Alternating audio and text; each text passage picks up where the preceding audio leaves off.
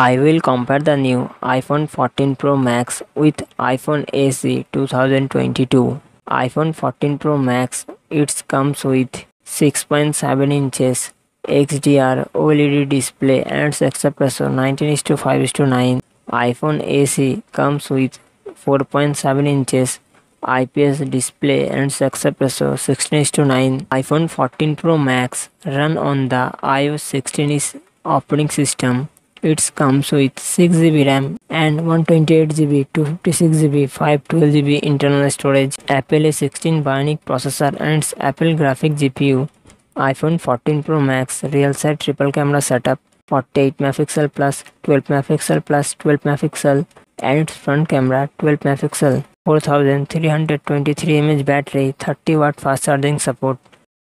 iPhone SE run on the iOS 15.4 is available operating system.